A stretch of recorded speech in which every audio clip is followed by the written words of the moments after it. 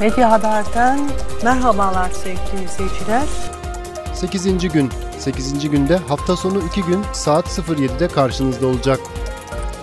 Günlük gelişmelerden hayatın öne çıkan olaylarına, hapishane avlularına, tarih bilincinden kitap ve sinema dünyasına hayatın tüm renklerini 8. günde izleyebilirsiniz. Hakikatler bilinsin, gerçeğin sesi duyulsun.